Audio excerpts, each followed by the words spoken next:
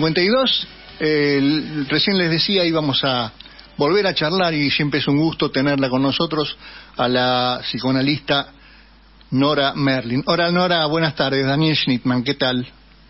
¿Cómo estás, Daniel? Muy bien, muy bien, por suerte, gracias. Bueno, eh, parece que hay novedades con respecto a nuestro presidente al, a la psiquis de nuestro presidente y yo sé que estás interesada en el tema y que lo conoces, así que quería que nos informes más o menos cuál es la idea de si va a haber un juicio o algo por el estilo. Mira, el asunto es así, ustedes eh, es de, eh, la opinión pública conoce los rasgos de carácter, ¿no? del presidente, inclusive eh, la, la sociedad dice que diagnostica eh, eh, una patología que los psicólogos no estamos de acuerdo, ¿no? En, dar diagnósticos así como así de, un, de una persona. La gente en el sentido común dicen que está loco, que este, que el otro.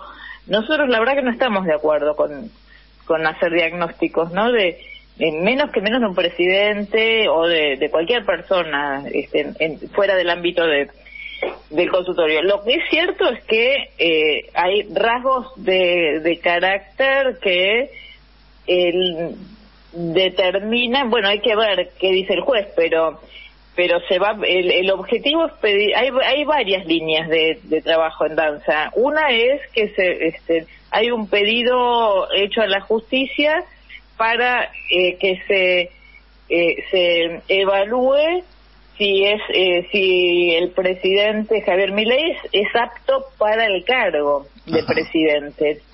eso quiere decir que bueno, como todos sabemos, hay rasgos de, crueldad, de, agresividad, de que se burla de los discapacitados, que amenaza, que se enoja cuando no se está de acuerdo, eh, lo que bueno, hay muchos rasgos, ¿no? La negación de los remedios oncológicos, la bueno, lo que está generando en lo social, que nosotros decimos es una epidemia de angustia, en, además del modelo económico de hambre.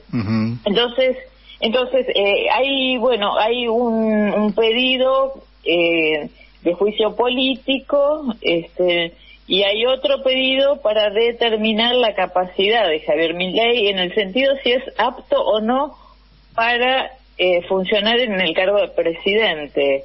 Entonces, en el sentido de que, como eh, yo entiendo que los eh, eh, el objetivo es hacer un, un grupo, un equipo interdisciplinario que se pidió en la Facultad de Medicina hacerlo. No, el pedido no fue desde la facultad, sino en la facultad, con un equipo interdisciplinario para eso, ¿no? Para dictaminar la aptitud del presidente. pero ¿para qué? No, no es para estigmatizar a nadie, sino para evitar posibles daños a la comunidad y a sí mismo. Si es peligroso para la comunidad y para él mismo, porque em, hay muchos profesionales de la salud que, que pensamos, ¿no? Que lo vemos como una, una persona eh, vulnerable, este, que, que, está en, en, en una situación de uno podría decir de desestabilización rápida, ¿no? Eh, psicológica. Entonces, en ese sentido, eh, la idea es verdaderamente protegerlo y proteger a la comunidad. Este, las dos cosas, ¿no? Eh, este, sí, inclusive yo estaba viendo el otro día un video ya del 2018 donde un juez la lo acusó este de maltratadora a Milei por decirle burra a una periodista, ¿no? Claro, esa, y esa causa se cajoneó, porque claro, la gente, por supuesto, ¿no? Se inclusive los profesionales tienen cierto temor de avanzar porque viene alguna represalia, porque bueno, porque porque sí, no, cuando en realidad nadie es, eh, eh, es el juez el que va a decidir. Ahora, ¿esto se cajoneó ahora o se cajoneó eh, lo de Salta. Sí, lo de, Salta, claro, porque desde el 2018. Lo podían haber cajoneado antes, antes yo de creo Yo creo que está cajoneado antes, desde antes. Este, pero de todas maneras, eh, yo lo que sé, porque yo no soy abogada ni está llevando esto un abogado y, este em, yo sé que está, está juntando pruebas en este momento para, para el argumento este, ¿no? De, determinación de la capacidad y, y si es, este, para evitar daños a la sociedad, porque yo creo que está juntando eh, pruebas y lo de Salta va a estar incluido. ¿no? Claro. Este, y, atrás, atrás de ustedes, perdón, no atrás, sino acompañándolos a ustedes, mejor dicho. No, eh, ustedes no, yo no soy, yo no soy, eh, eh, digamos, hay, hay, em, digamos, los términos judiciales yo no, no los conozco, porque yo lo que sé es que esto está en la Fiscalía 3. Ajá. creo que se, que se adjuntaron pruebas mías también, inclusive la nota que hicimos acá este, está, eh, ¿te acordás que la hicimos hace cosa de un mes? Un mes, claro, sí, sí, sí. Este, eso me, tengo entendido que va a ir como una de las pruebas, ¿no? Este, donde una profesional de, de, la, de la salud mental, que vengo a ser yo en este caso, claro. este, señaló ciertos rasgos de carácter, pero no soy la única, digamos, hay, hay muchas pruebas, inclusive en Europa también hay eh, gente de la política que, que está que, está poniendo en cuestión, ¿no? Sí, eh, ya, ya con lo que pasó con el libro donde mintió en, su biografía y en España ya es una muestra también. Claro, vos viste y, y la, editorial retiró los ejemplares porque los retiró, sí, sí, sí. Este, no, son cosas muy bizarras, ¿no? Muy bizarras. Muy bizarras. Y para colmo yo estaba leyendo hace un ratito eh, uno de los líderes, o el líder más bien de, de mi ley, es el economista Murray Rothbard, que dice que a los hijos no hay que darle de comer, no hay que vestirlos, no hay que enseñarles, nada, es una cosa loca. Y así que Y bueno, y, yo no sé si loca o cruel, porque no no todos los locos son así, digamos, de, con mm. este grado de crueldad, ¿no? Sí. Pero sí, Sí, alguien cruel no de ningún modo está en condiciones de ejercer un cargo público. Que, tal vez otro tipo de cargo sí, ¿no? No lo sé. Sí, eh, economista, vaya a ser de alguna empresa, quizá, no sé. Eh, por, claro, es, por, algo llegó.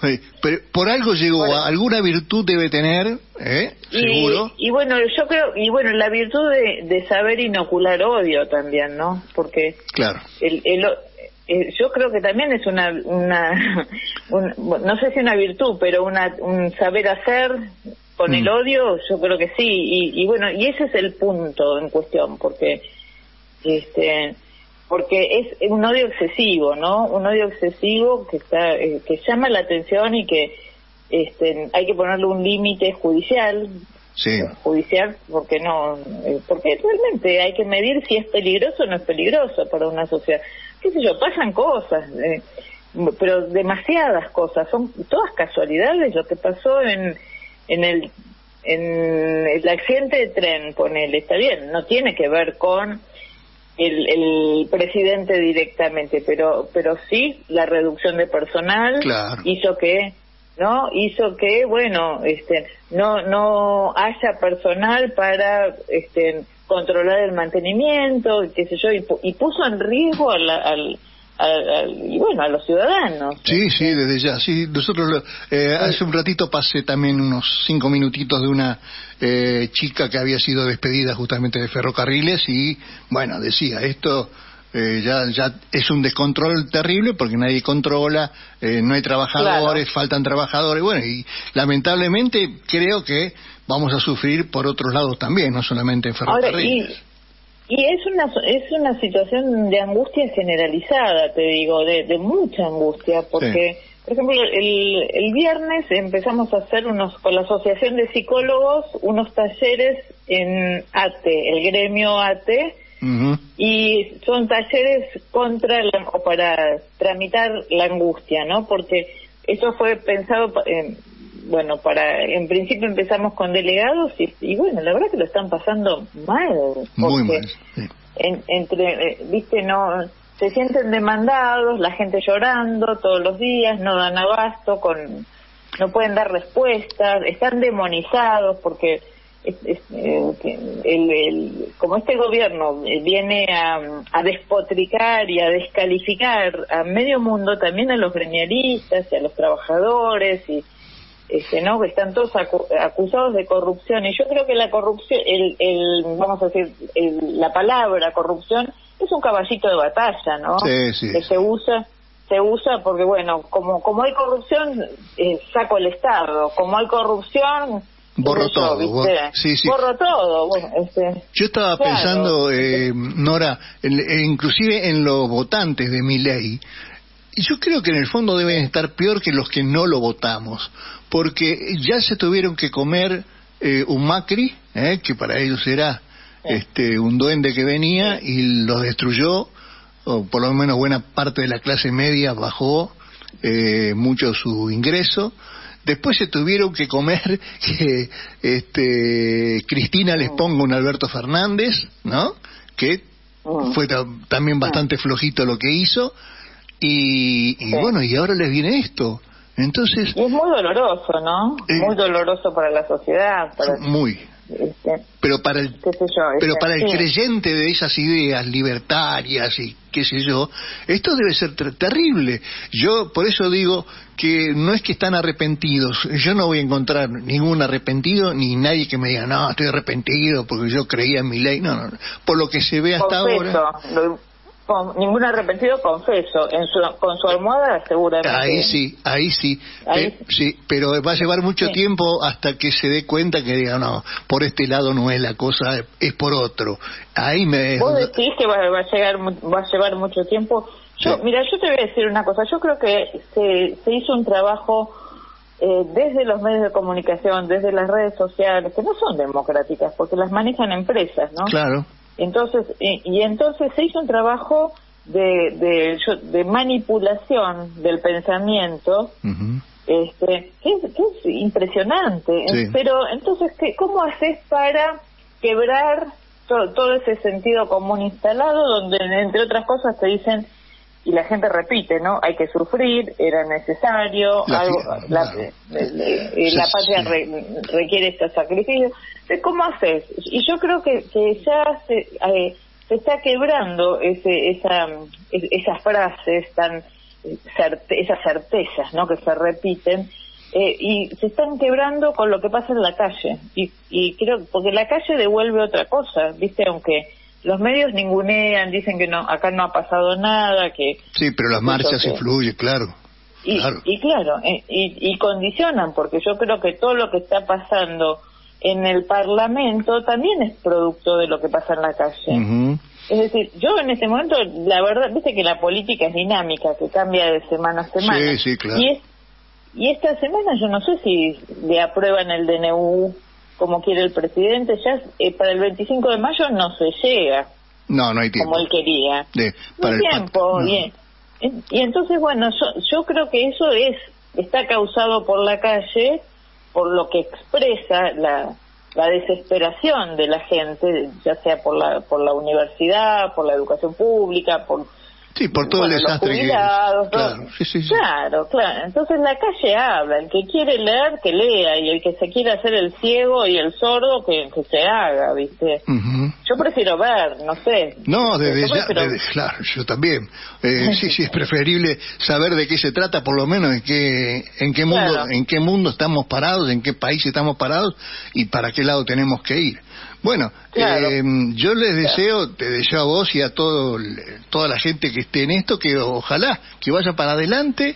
Este, mm, a mí también me parece que este hombre no está no está en sus cabales, no, yo no soy psicólogo ni mucho menos, pero por las cosas que hace cualquier chico se da cuenta de que este hombre... Y es muy raro, ¿viste? Ah. Es muy raro, Es, muy, es muy raro. En Europa se dan cuenta y lo, lo pueden, se ve que lo pueden formular más libremente que nosotros, eh, o que la prensa de acá, que los medios hegemónicos, ¿viste? Eh, sí, porque, yo ahora en un ratito voy a hablar con nuestro corresponsal en España porque descubrieron que hubo un partido que no es Vox, me parece que no es Vox, que aportó varios millones de dólares para la campaña de Milei y ahí en España se lo están tomando con mucha seriedad el tema. Así que en un ratito uh, vamos. Claro, claro. Ah, yo, no sé si te conté que a mí me vinieron a, preguntar de, un diario alemán.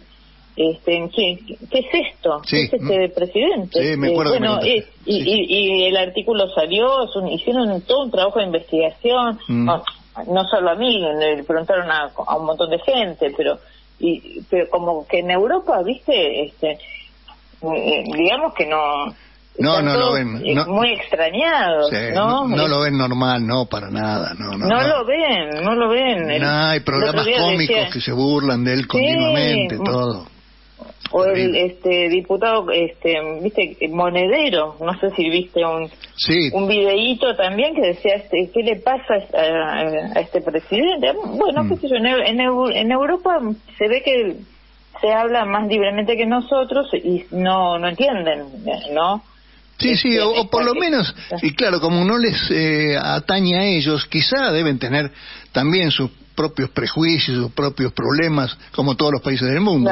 Claro, como estamos, eh, como somos otra cosa, estamos lejos, qué sé yo, ahí sí con total libertad, total, a quién le importa Argentina, dirán, y, le dan, y le dan. Eh, y bueno, es una gran ayuda que eh, podemos tener de parte pero, Claro, y es es muy raro, viste, que eh, tanto sufrimiento ilimitado como la libertad que propone eh, Viva la Libertad Carajo, que mm. yo yo lo que leo ahí es arreglate solo carajo, porque claro, sí, sí, sí, Viva la, Viva la Libertad Carajo es este que, que, los chicos no son libres, ¿no? Los, digamos, sí, sí, sí.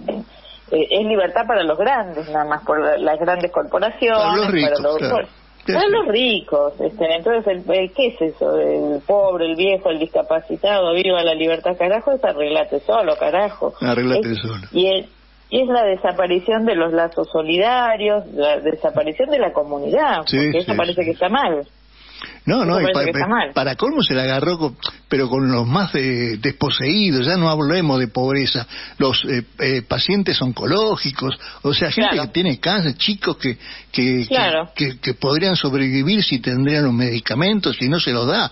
Es, como vos dijiste la otra vez, esto es el goce de la, de la crueldad. De la crueldad, claro. Que en realidad no fue un invento mío, sino de Axel Mm. y no y después este bueno un escritor Martín Cohen dice la, la crueldad se puso de moda y yo Me, me, sumé a eso a esas voces pero eh, yo creo que volviendo al tema de lo que vos te preguntabas del votante y pobrecitos también, ¿no? Porque qué, qué chasco, qué chasco. Claro, por eso yo me ponía así en la cabeza de ellos, digo que es terrible.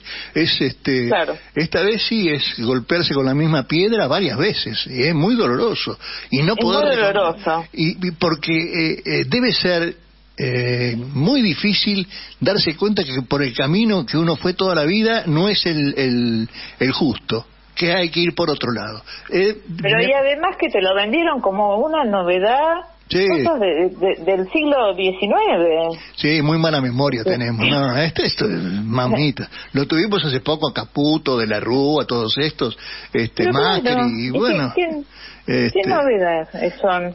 Ninguna. Lamentablemente, ah. para atrás todo.